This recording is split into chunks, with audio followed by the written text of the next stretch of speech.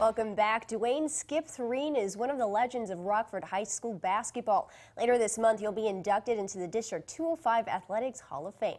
Thoren carried the East Rabs to the state tournament and later starred for the Fighting Illini. He reflected on those great days with me in a phone interview from his current home in Louisville, Kentucky. I wasn't what I'd call athletic. I was obviously very tall for the time when I played. Thoren says he was six feet eight when he played for the East Rabs in the late 50s and early 60s. I was pretty agile, pretty quick, because I was very thin at the time, as I was kind of growing into myself, if you will. What a player he was. He earned honorable mention All State as a sophomore and All State honors again as a junior and a senior. When he graduated in 1961, he was East all time leading scorer with more than 1,300 points. The hook shot was his specialty.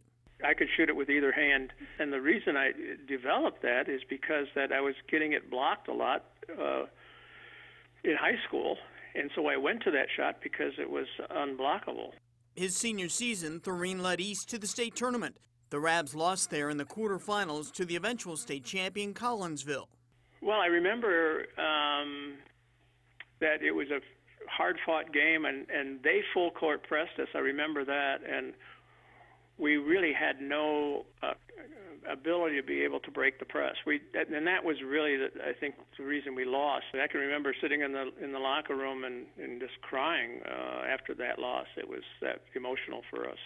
Thoren says he wasn't really interested in basketball until his freshman year. Basically, um, I, I really didn't like basketball, but and they when I was at, at Lincoln Junior High, the uh, the coach John Costello, he was actually the assistant coach, but he's the one that kept in the hallways kept saying, "You need to come out and play basketball. You need to come out and play." And and uh, so in ninth grade, I went out and played for the first time, and um, and I was pretty clumsy and awkward, and I really didn't um, like the game a lot. Fortunately for East fans, that soon changed.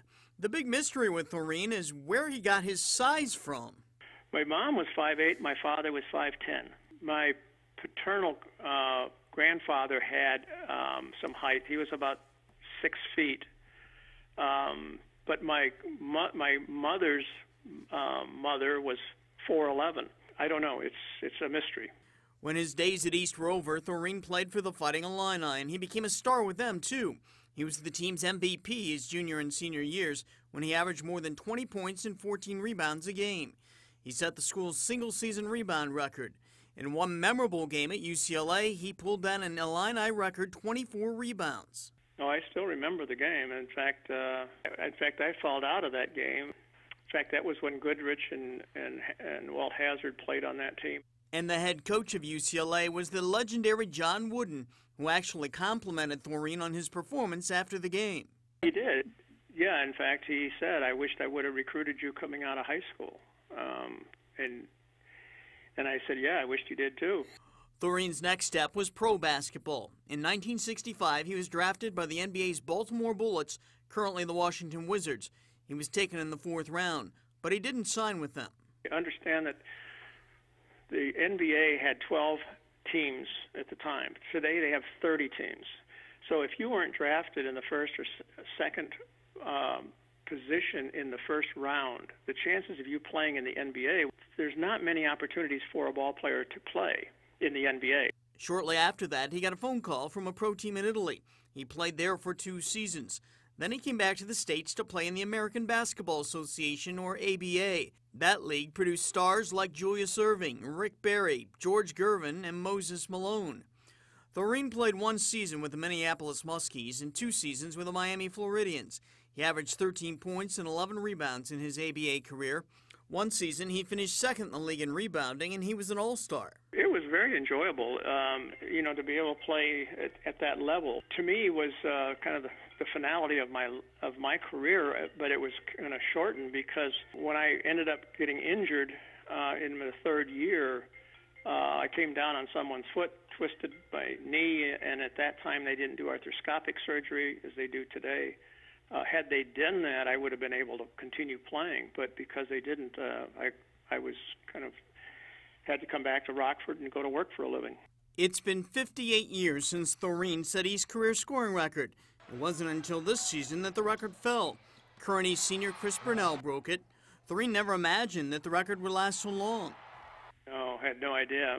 Even though he's lived in Louisville most of his adult life, Thoren says Rockford has a soft spot in his heart. Oh, absolutely. Yeah, we, you know, it's my home, and I, you know, love the. Uh, it's changed dramatically, as as we all know. But you know, it's one of those things that everything changes. But uh, it definitely is a, uh, a wonderful place to live. I really enjoyed that conversation with Skip. And the other thing I asked him was how he got the nickname of Skip. And he told me his dad gave it to him because when Thoren was an infant, he often was dressed in a little uh, Navy sailor's outfit, and his dad thought he looked like a skipper. Such a sweet story. And he still holds some records at Illinois, right? Yeah, he does. Uh, he holds the marks for the most rebounds in a game, the most rebounds in a season, and the top rebounding average in a season. So that's pretty amazing that after all these years, he still holds all those records. Well, by the way, the Champions Bowl and Athletic Hall of Fame induction ceremony will be held Saturday, February 23rd. It'll be at the Radisson Hotel and Conference Center in Rockford. You can find more information at the Rockford Public Schools 205 website.